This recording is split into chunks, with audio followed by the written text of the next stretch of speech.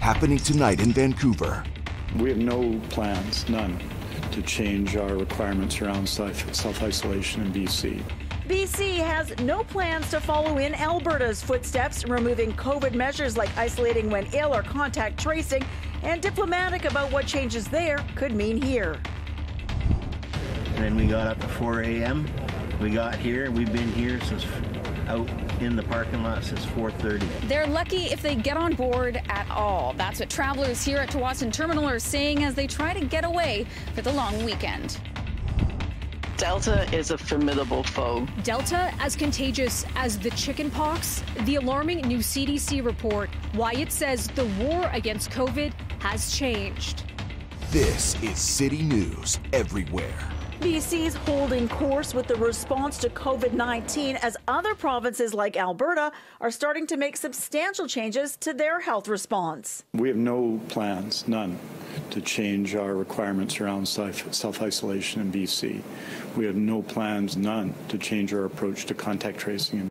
Health Minister Adrian Dix not making comment or casting judgment on Alberta's decision to make drastic changes, including removing isolation requirements mid August, even if you have COVID, and a few weeks later ending testing outside of high risk and acute care settings.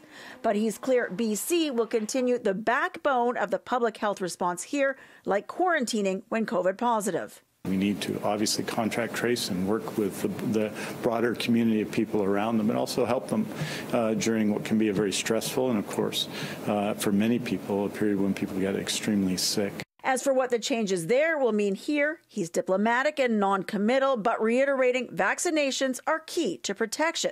And they're busting out all the stops for shots, like getting immunized waiting for a ferry. People who are ferry passengers, whether they're waiting in their vehicles or foot passengers waiting to hop on the ferry, can first hop on our mobile vaccine bus, get their shot, whether it's the first or second dose, and then be on their way. And while there are clearly a lot of people heading to the island and cases have been high there, it's vaccinations, the workhorse of BC's response, not travel that concerns him. We've had cases in the last few days on Vancouver Island. We're going to continue to have some cases on Vancouver Island, and that means it's as important on Vancouver Island as anywhere to get immunized against COVID 19. Getting shots in people under 50 especially key. The Kelowna area outbreak mostly unvaccinated 20 to 40 year olds. Dix confident relying on the approach BC's followed throughout will prevail there and throughout the province, but warning people to brace for cases to remain high for a while longer, even with the regional mask mandate and travel advisory brought in there this week. It's going to take some time for those uh, those uh, changes to have an effect on new cases. So we may or may not see anything anywhere on Tuesday morning. In any event, it won't be because of uh, travel on the weekend. For City News in Victoria, I'm News 1130's Lisa Yuzda. Well, daily COVID 19 cases are still on the rise as BC records another 243 in the past day, and that is the highest since the end of May. More than half of these new cases are people who live in the interior health region, followed by Fraser Health. There were no new COVID related deaths in the past 24 hours. I firmly uh, believe that quarantine and isolation can help prevent the spread. Canada's top doctor dances delicately around Alberta, cutting back on COVID measures as modeling shows the start of a fourth wave. Well, despite everything we've been hit with this summer, we've at least had clear, relatively smoke-free skies. But, yeah, that's about to change. The forecast is for wildfire smoke from the interior and the U.S. to close in on the south coast, starting after midnight tonight. It will get increasingly hazy through tomorrow and into Sunday for Metro Vancouver and the Fraser Valley. The smoke will work its way over to Vancouver Island and into Sea to Sky country as well. We're waiting. So. Do you feel lucky then that you're even going to get on? yes. It's jam packed here at Tsawwassen Terminal where people are waiting hours upon hours in hot lineups to try to get away to Vancouver Island for the long weekend. It's been really crazy. My husband and I woke up at 3:30 in the morning to get here to catch the 5:15 sailing. We didn't make that. We also didn't make the 745, and now we're hoping to make the 1030 sailing. Traffic is bumper to bumper getting into the terminal. Once inside, the lineups are long and the temperatures are grueling. Passengers hoping to drive onto a ferry Friday without a reservation had a lot of regrets. Some waited upwards of six to seven hours to get on board. Well, we got here at 8 o'clock last night. No go. We went and got a hotel room. That was another joy. Then we got up at 4 a.m. We got here. And we've been here since out in the parking lot since 4:30. Being stuck waiting here, it, it, this is stupid. One traveler we spoke with had a reservation, but when he arrived at the terminal, he says he was denied because he didn't book a spot specifically for an oversized vehicle. So now he and his family will also have to wait. And because of a formality, we didn't get on, and uh, because of that, they're like, "Oh, you're on the 12:45. Still, we'll try and push you in." We didn't make it, so we had this book like six months ago. BC Day Long Weekend is traditionally the busiest weekend of the year for BC Ferries, and it's certainly shaping up to be that way. Uh, we did see multiple sailing waits yesterday for customers uh, that didn't have reservations. We're seeing that again today. Your best bet, according to BC Ferries, is to try and travel Saturday night or Sunday morning if you don't have a vehicle reservation for the weekend. For those opting to go to the island by air rather than water, well, it's tough in the sky as well. Harbour Air is completely booked up Friday and Monday. For those here at Tsawwassen Terminal, many travelers are just trying to keep cool and make the best out of a less than ideal situation. We have most of our hobbies kind of with us anyway because we were on vacation, so just hang out and spend the time however we can. In Tsawwassen, Ashley Burr, City News.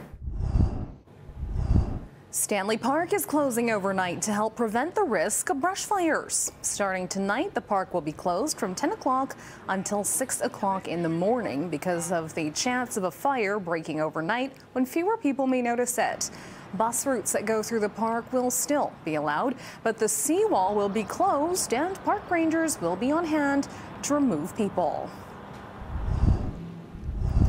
YVR is getting $38 million from Ottawa to improve its drainage system and extend its end of runway safety area. The money is part of the federal government's previously announced Airport Critical Infrastructure Program. The federal transport minister says the projects will help make sure the airport is protected from rising seawaters and storms. Cases and deaths from COVID 19 have continued to climb. Much of this increase is being driven by the highly transmissible Delta variant. That update from the WHO Friday after an alarming CDC report surfaced saying the war against COVID has changed as scientists learn more about Delta's dire threat. The coronavirus variant known as Delta that's surging around the globe appears to cause more severe disease according to an internal document from the U.S. Centers for Disease Control, based on unpublished data first reported by the Washington Post. That shows fully vaccinated people might spread the variant at the same rate as unvaccinated people, and that it spreads as easily as chickenpox, a variant so contagious that it acts almost like a different novel virus, leaping from target to target more swiftly than Ebola or the common cold. And according to the Post, CDC scientists were so alarmed by the new research that the agency earlier this week significantly changed guidance for vaccinated people, urging them to wear masks in hotspots. Based on the Delta development, officials must acknowledge the war has changed in the fight against COVID. But the internal report is said to underline that vaccination provides significant protection against the virus as CNN reports, reducing the risk of severe disease or death tenfold. We've heard about uh, some of the findings. Reaction here at home Friday to the reported CDC research. Delta is a formidable foe, is the most transmissible variant. And I believe the data is going to show that um, it may be even more transmissible than we originally thought. And that makes sticking to health measures like masking and physical distancing even more critical says Canada's chief public health officer. And get vaccinated. Melissa Duggan, City News.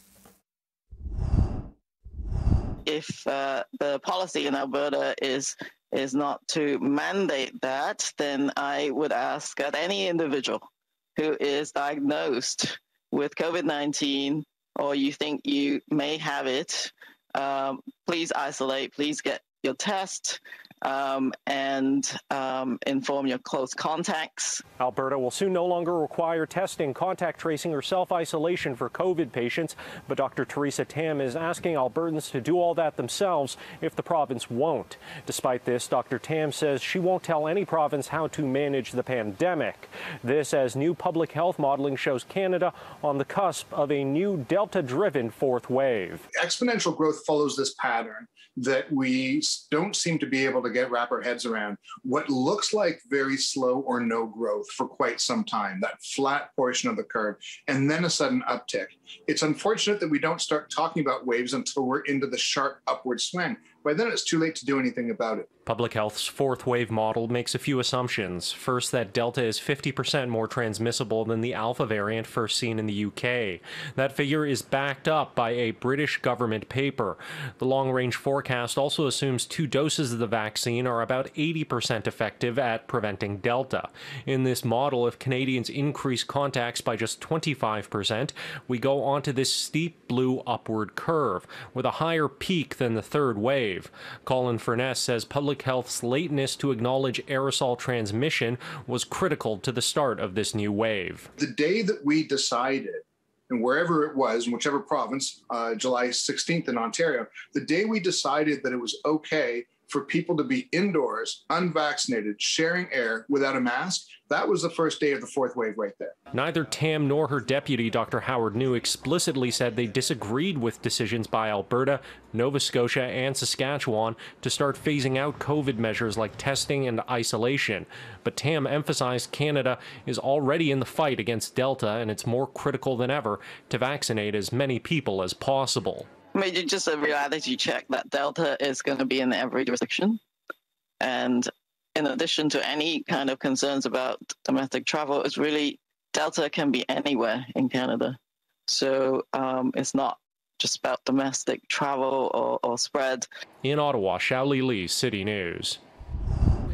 It's another case of girl power at the games. We have a silver medal, just got it. Kylie Masse, Canada, go Canada, go. Uh, we will have the latest on that win for you uh, at our 11 o'clock broadcast.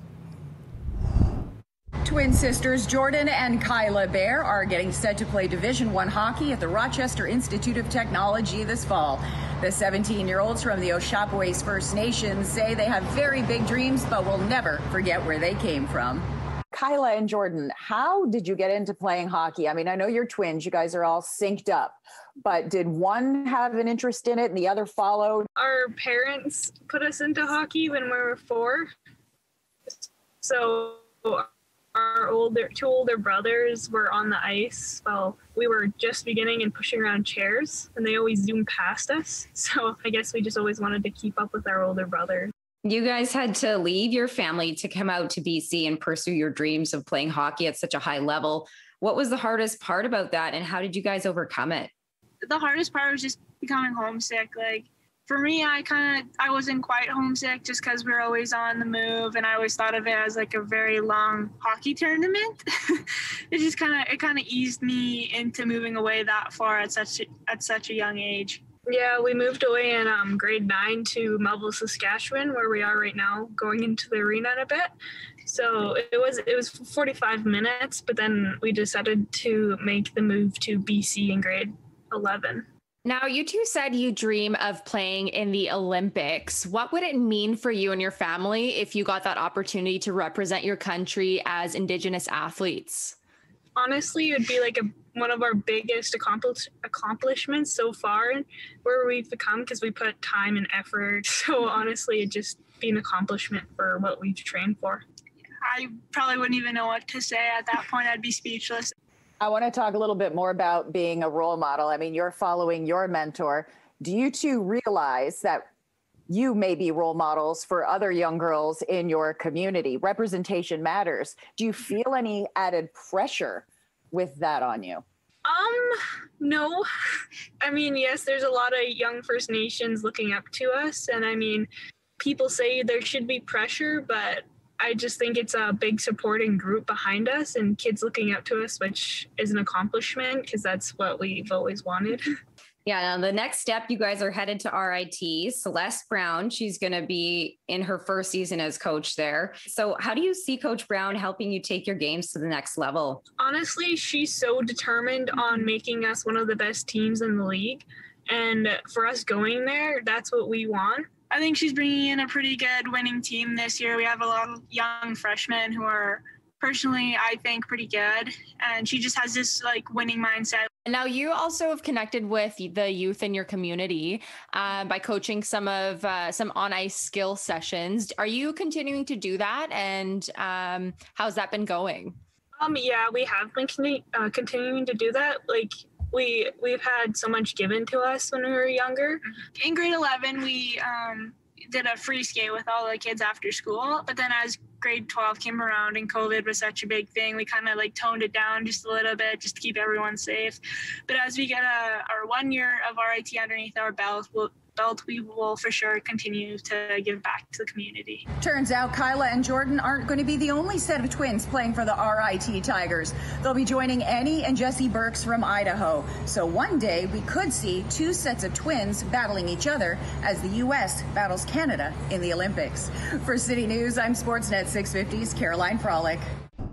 This week in science, we're at our friendly neighborhood power substation talking about super polluters. Now, right now, the most emitted greenhouse gas in the world is carbon dioxide, and the biggest human source of that gas is the burning of fossil fuels for electricity. But not all power plants pollute the same. Some researchers at the University of Colorado Boulder set out to find the worst of the worst, as in which of the world's power plants put out the most CO2 each year. They combed through an inventory of over 29,000 facilities across almost every nation on the planet and came up with a top 10 list of super polluters. Not surprisingly, they're all powered by coal. Two are in India, six are in East Asia, the other two are in Europe, including the Bełchatów power station in Poland, which is right at the top of the list. Uh, just two of these locations put out more carbon pollution per year than the entire country of Switzerland. And the researchers also found that nearly three quarters of all emissions from power generation come from just 5% of the world's power plants. That is a very stark inequality, and it tracks if you narrow in on specific nations like the US, South Korea, and Japan.